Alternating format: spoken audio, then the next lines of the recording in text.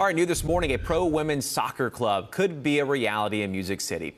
Jaxie Pigeon joins us in studio this morning with more from the group that's behind this effort, as well as a very big matchup that's coming today. Perfect timing, I'd say, Jaxie. That's right, Blake. Published reports list Nashville as among the cities being considered for a franchise in the National Women's Soccer League. The bid came from Her Game Nashville LLC, and it states that the prospective women's team would share Geodis Park with Nashville SC. The group's website says, quote, Nashville's economic opportunities, cultural vibrancy, quality of life, and rapid growth strategically positions it as the ideal location to cultivate and grow what would become Tennessee's first women's professional franchise.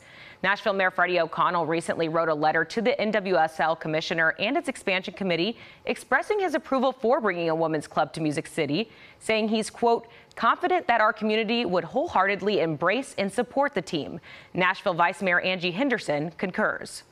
Certainly, as a women in public service, we love to see um, when we have uh, kind of equal uh, focus and intention on women's sports.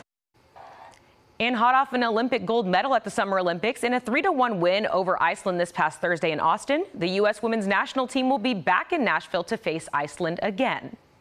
We are taking advantage of every opportunity we have together. And for us, that starts now and just continuing to evolve, continuing to grow, continuing to um, just be the best that we can be.